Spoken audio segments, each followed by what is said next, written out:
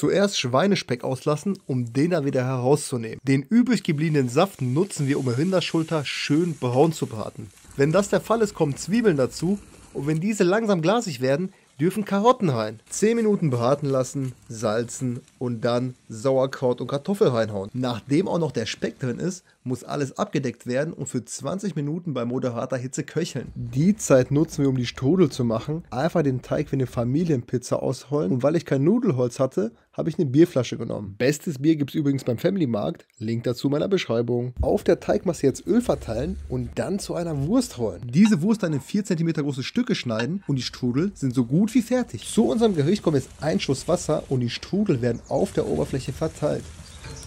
Jetzt Deckel drauf und 20 Minuten ziehen lassen. Die Strudel werden durch den Dampf gar. Tut mir den Gefallen und probiert es aus. Auf euch, Leute.